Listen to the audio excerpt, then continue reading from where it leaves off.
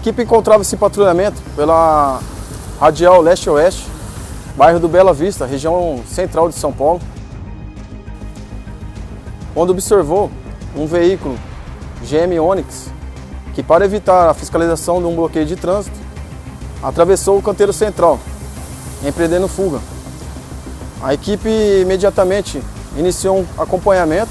Copom, GP1, o veículo furou o bloqueio do trânsito, Onix preto. Vai pinote. Copom, pinote pra si. Eu estava na função de auxiliar da equipe policial.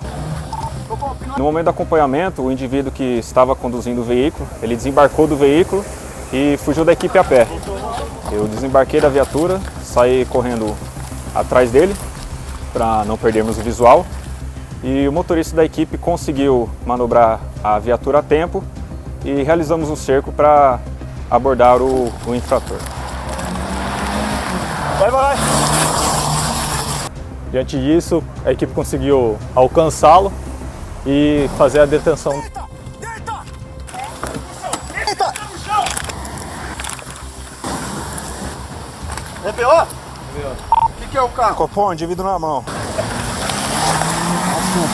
Bastante droga? A droga tá onde? Carro inteiro.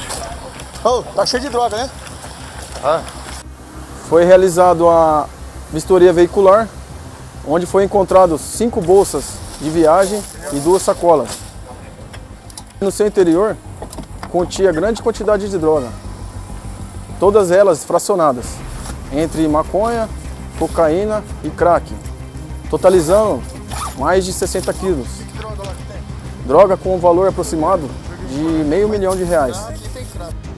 O indivíduo já possui uma grande ficha criminal, possuindo passagens por roubo, tráfico e associação ao tráfico.